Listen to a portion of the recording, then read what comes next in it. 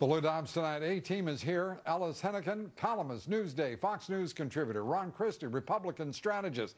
Kirsten Powers, New York Post columnist, Fox News political analyst. Thank you all for being here. Kirsten, let's begin with you because I have to believe that the nation's capital is just reverberating with shock, surprise, and delight at the release of the president's long form birth certificate.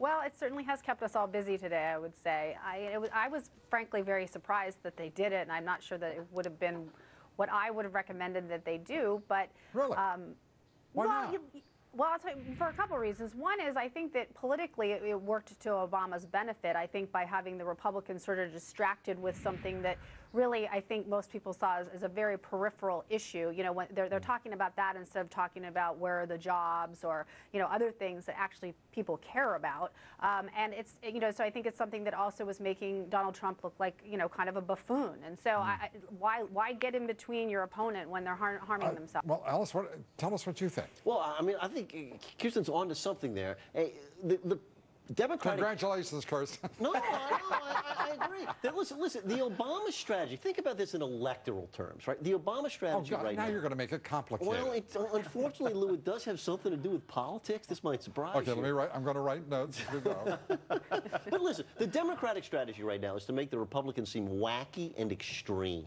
Oh, so, that's why they keep calling so, them extreme. Well, so, well, the word gets mentioned. So, so, so, the more Sarah Palin is up front, uh -huh. the more Congressman Bachmann is given airtime, mm -hmm. the more Donald Trump is stomping around New Hampshire. The higher Obama's ratings go in the, the polls. Better is that right? Is. And so, and so, so what? So what we had here with this birth certificate was no, was they just dragged it out just about as long as they could. Finally, at some point, you got to put the paper out, and I think by today we kind of reached that point. Are you dazzled by Ellis's uh, analysis? Uh, well, I'm dazzled by the fact that the Democrats seem to think that their strategy should be to make the Republicans look bad other than governing. I mean, goodness sake, isn't that why he was elected? But, no, no, in all seriousness, this is, this is ridiculous. If the president had this birth certificate and he saw this issue before him before, why not put it out there to let this sort of drag out, yeah. drag on? Oh, and of course, he's in New York City today doing fundraisers and then jetting off just to three, Oprah. Just three. You know, oh, but we're not distracted by that, Lou. It doesn't make any sense. And now I actually think the story is going to live on longer than it would have. It well, let's find out how long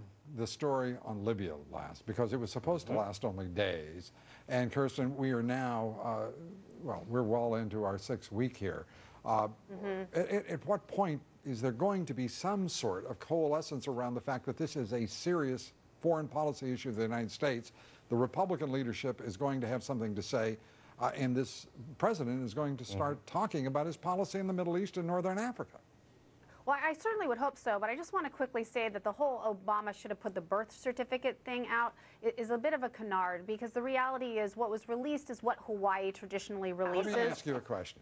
I just asked you about Libya, which I consider to be a relatively important topic. Yeah. You call it a canard and want to reassert it into the conversation.